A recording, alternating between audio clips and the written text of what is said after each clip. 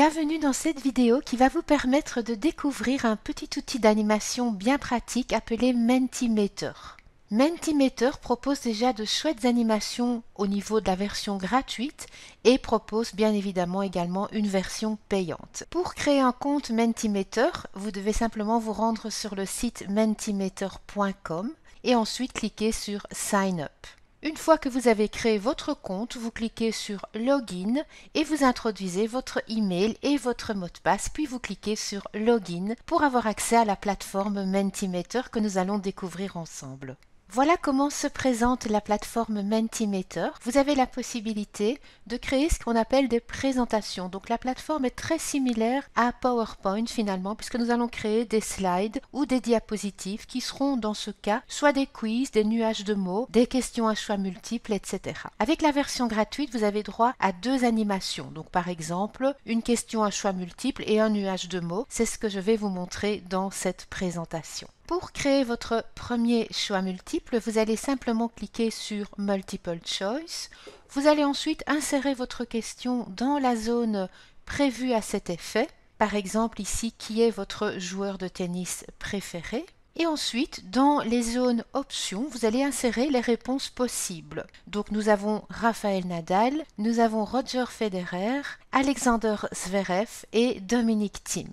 Pour agrémenter la petite animation, nous allons également insérer les photos des joueurs. Passons aux nuages de mots, ou word cloud en anglais. Les nuages de mots vous permettent de demander aux participants ou aux apprenants leur feedback par rapport à une réunion ou à une formation. Il leur suffira d'indiquer les mots qui leur viennent à l'esprit et ils s'afficheront en direct sur votre slide pour le groupe. Voici un petit exemple de question à poser. Quel adjectif vous semble adéquat par rapport à cette réunion?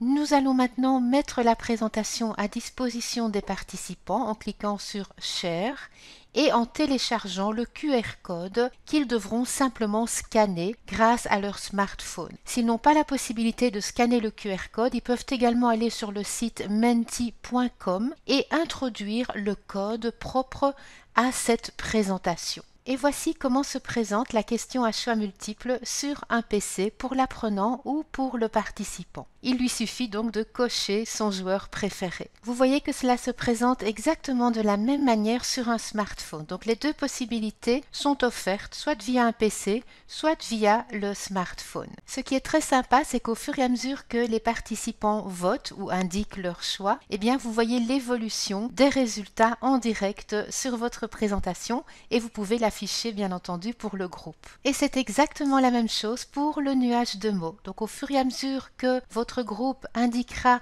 son feedback en termes d'adjectifs par rapport à la réunion, eh bien vous verrez les mots apparaître dans Mentimeter comme un nuage de mots. Donc ça peut être très sympa pour clôturer une réunion ou une formation. Voilà, merci beaucoup de votre attention et je vous donne rendez-vous très bientôt pour la découverte d'autres outils d'animation.